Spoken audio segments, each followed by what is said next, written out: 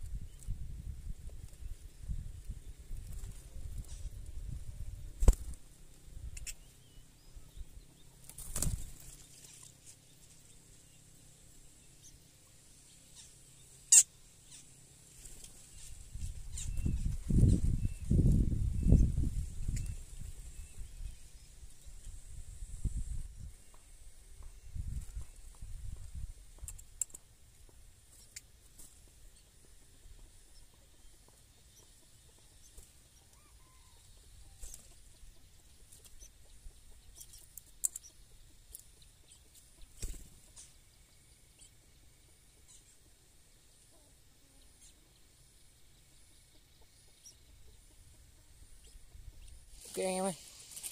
Mình thử xem nào. Wow. nó ăn hết sạch luôn rồi này anh em. Không còn con gì luôn. Ok. Nó ăn hết sạch luôn. Ok nha video của mình đến đây là kết thúc rồi. Anh em thấy hay nhớ like đăng ký kênh của mình nhé. Tạm biệt anh em nhé